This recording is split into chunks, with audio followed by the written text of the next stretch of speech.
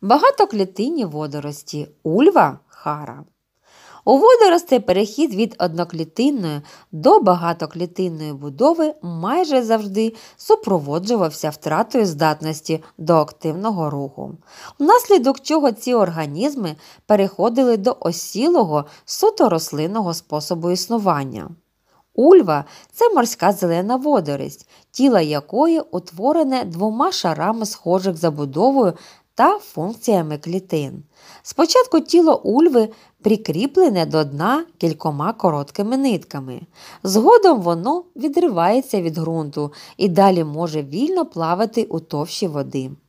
Ульва зростає у морях помірного поясу, зокрема в Чорному та Азовському, і досягає розмірів до 50 см завдовжки. Вона є їстівною і містить багато поживних та біологічно активних речовин. У деяких країнах ульву як харчову водорість штучно вирощують на спеціальних морських фермах. Хара на дні озер та приморських лиманів, де зупиняються на прильоті качки, майже завжди можна знайти щільні зарості, багатоклітинної зеленої водорості хари, яка виглядає як невеличка справжня рослина.